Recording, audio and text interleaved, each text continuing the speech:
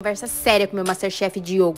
Ué, que estranho. O que será que a patroa quer comigo? Até que enfim saiu esse encosto.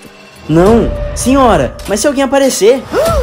O quê? Ninguém vai, meu segurança paga pra isso. Cala a boca e fica quietinho, antes que eu perca minha paciência.